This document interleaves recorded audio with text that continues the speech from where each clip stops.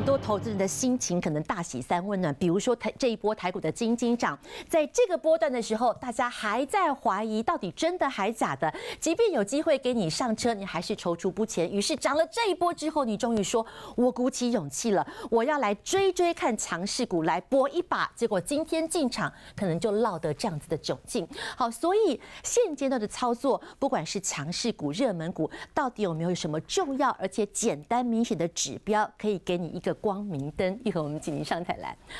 股期正逆价差怎么找出猫腻？好，其实从期货跟现货的正逆价差就可以找出一些投资的机会。我们先来看台子期的这个正逆价差，我们等一下再来讲股期。好，好，台子期其实整个三月份或者整个二月份基本上都是正价差。我们可以看到正价差基本上五十几点了，六十几点哦，三十几点，六十几点，六十几点。我们以前在前线有教过大家，只要是正价差。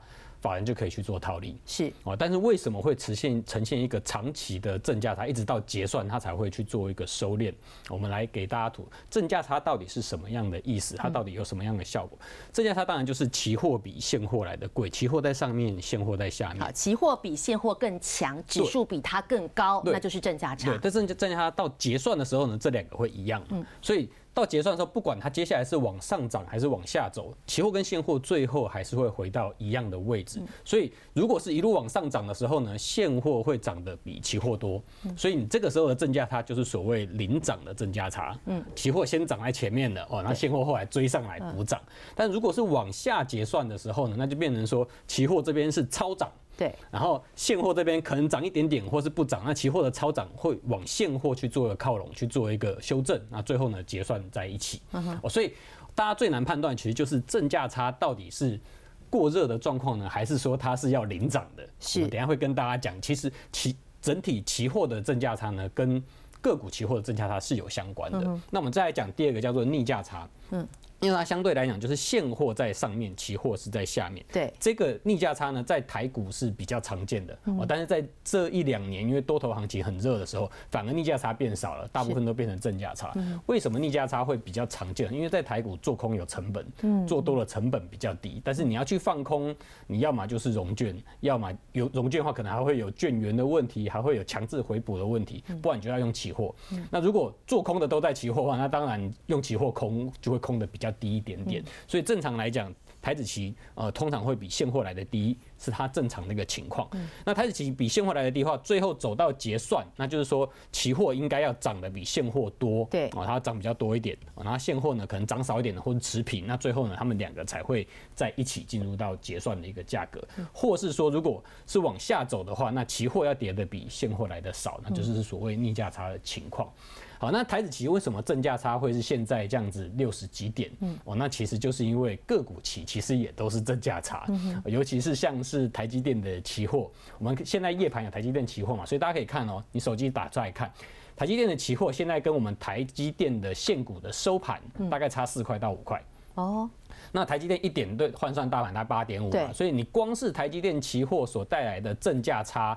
大概就占了四十二块多一点，对，所以你现在你有些有些人觉得期货台子期正价差六十几点不合理啊，其实是因为台积台积电的期货就占了四十点，所以你台积电期货如果没有跟台积电的现货去做收敛的话，那当然台子期就不会去做收敛嘛。好，那我们接下来的问题就是为什么台积电期货会比现货领先这么多？好，好，那所以我们进入到个股期货。二月份我们来看，这是期交所公布期货市场参与者的占比，指数期货就是像台子期啊、电子期、金融期这种，我们可以看到自然人占一半，嗯哼，哦，自然占一半，然后再来呢，外资占将近四成，所以自然人加外资几乎就占了九成左右，所以期货啊，台子期会是正价差。哦，那从那边来看，不是自然人就是法人的杰作嘛，那再来我们来看股票期货，股票期货自然人占三十四趴多。外资也一样占五成，所以股票期货的部分，自然人与外资占比将近也是快九成。所以呢，台积电的期货会是正价差，代表不是自然人追价就是法人追价。那你觉得是自然人追价还是法人追？法人法人追价啊？其实不是。我们看下面哦，是自然人追价。为什么？这边是他们的未平仓余额，就是流仓的部分。对，流仓部分我们来看，自营商、投信、外资，然后是标的是股票期货嘛？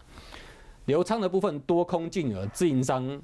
留仓留了二十几万口的空单，外资留了七万多口的空单哦，所以不论是自营商还是外资，他们留仓的个股期货都站在空方，那谁是这做多的？自然人，自然人哦，所以台积电的期货为什么会是比现货贵这么多？是因为自然人透过股期去追价哦。不然对对法人来讲，我用股期追价跟我用现股追价，当然是现股追价便宜啊。是，然后我再去放空股期嘛，中间五块钱我摆到结算。那我就不管台积电接下来是往上走还是往下走，这五块钱我一定收到口袋里，是绝对可以赚得到的钱。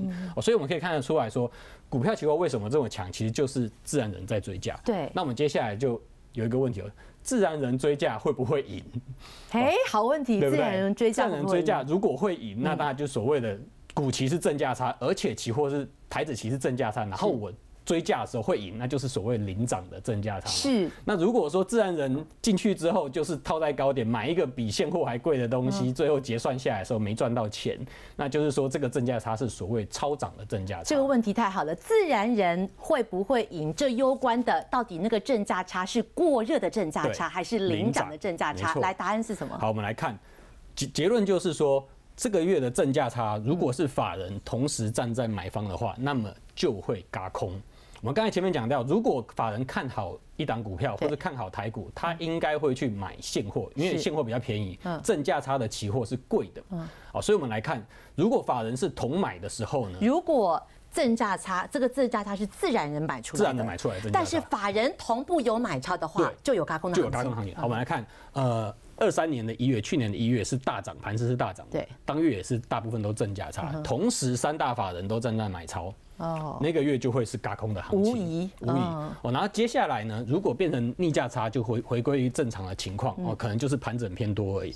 然后四月是盘整，然后是正价差的情况。嗯。那那个时候为什么就不涨？它就是所谓超涨的正价差。为什么？因为投信啊、外资三大法人加起来。站在卖方，所以你在四月的正价差这边啊，去年的四月其实就是超涨的正价差，是。过热，你买正价差追股期不会赚钱。嗯嗯。但是五月又大涨了，五月是去年的 AI 的状况嘛，正价差三大法人都买，都站在买方，所以那个是领涨的。对，你你那时候还觉得说它刚过四月的高点是不是有点过热了？没有，它就是一路嘎上去，然后到。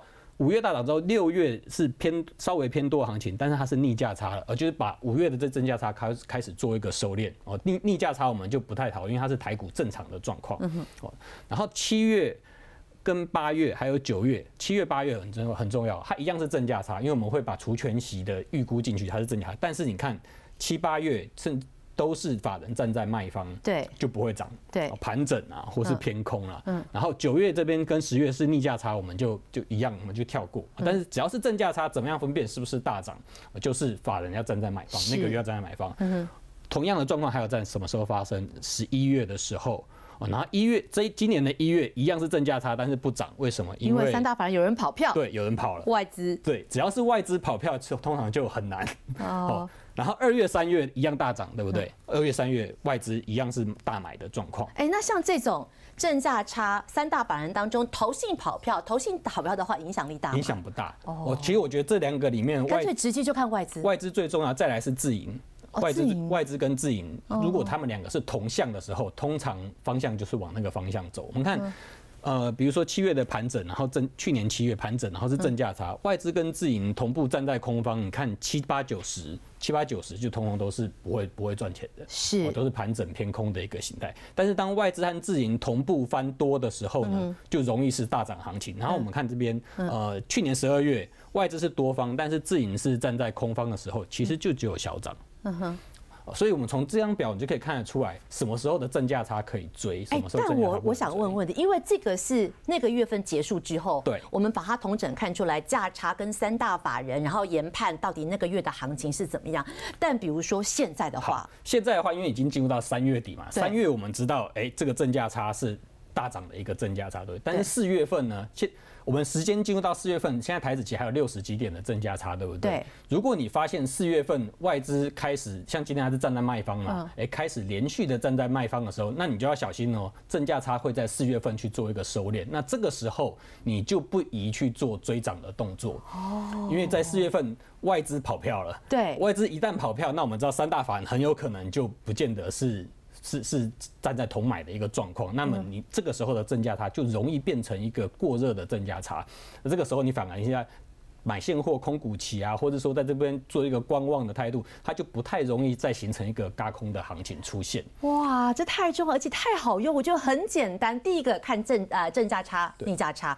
如果正价差，因为你刚刚解读是自然人买出来的，所以那不是法人的态度。那法人的动态看三大法人。如果三大法人呃英雄所见略同都买超，那这个行情领涨没有问题。没错，有人跑票，最严重的是外资跑。票的话，那就可能是过热的行情。对，我们其实发现最近九三九四零的行情的时候，外资稍微有一些跑票，但是在整个三月份，它其实还是站在买方。是，所以重点关注就是在四月份的部分。如果整个月它要是站在买方的话，一定有很多天它是站在买方，或者说有一天两天它是连续的买很多，最后整个月份它才会是一个站在呃买方的状况。所以如果你发现这四月份开始，哎，有几天它是大幅度的站在卖超的时候，跑票，对，那你就要小心，接下来可能。就是整个月份就是走一个价差收敛的行情，甚至于如果转为逆价差，对，就从正价差跑到逆价差，那虽然现货不动，但是以期指或是说以个股期的角度来讲，哦，那个就差很多，可能差三点到四点以上。你刚刚因为这个是看指数嘛，哈，对吧？你说个股期也差很多，比如说我们看台积电跟台积电期货好了，好，因为台积电影响最多，我们看台积电期货现在是收在七八二嘛，对不对？哦，那。那我们看台积电的现货，现货，所以是呈现一个正价差三块钱，三块钱状。那我们看台积电现货的三大法人状况，嗯，但三大法人在这边哦，加起来，哎。在这一块其实还是在买超，但是今天已经变成卖超了。对，所以如果之后三大法人这边没有再持续同买，可能是卖超的一个状况，会慢慢变弱，那么这个台积电的价差就有可能开始走一个收敛。台积电一旦开始收敛，台子期的价差就会收敛，是，那就不会形成一个嘎空的行情。那个股以台积电来说，我也可以用刚刚的正价差搭配了法人的一个操作来操作台积电的现股价。没错，其实可以。我们看哦，呃，比如说像法人买比较多的这几天，对，法人买比较多的，还有像。这一天你会发现，第一个很有可能会是一个跳空缺口，对，而且这个缺口之后呢，可能就不回补了，然后之后是有这边这这一段就没有回补了嘛，对，这边也是一个跳空缺口，之后没有回补完之后就往上走，那这个也是一个跳空缺口，哦，所以法人一旦有一个波段性的买盘出来的时候，其实就代表说他们对于这一段这个这这档个股是比较看好的，不管三大法人里面是。呃，土洋对做也好，或者是说哪一支法人买的特别多，它其实就代表说，在这一档个股里面，筹码法人这边是占有一个比较主导的一个优势。好，这是有股票期货，呃，联发科也有股票期货，联发科也可以这样子做嘛？其实我们可以看到，呃，我们来看联发科好了。好，联发科的股票期货的价格。股票期货它现在价格是一一六五，啊，现货现股好像是一一六零吧？来看一下现股，也是一一六五，那就那就一样了，已经没有价差了。之前在这边有比较有价差，对。然后我们看，其实它反正在最近已经是一个开始调节了，就是没有在持续买的时候。那它什么时候是持续买的时候？在这一天，这天嘛，这天就是这根。爆量长红，所以我们发现其实三大法人常常是做一个追价的操作，对，然后追价之后，如果它这个追价是赢的，那它可能会持续一段时间，然后直到他们开始去做调节的时候，你就该做一个退场动作。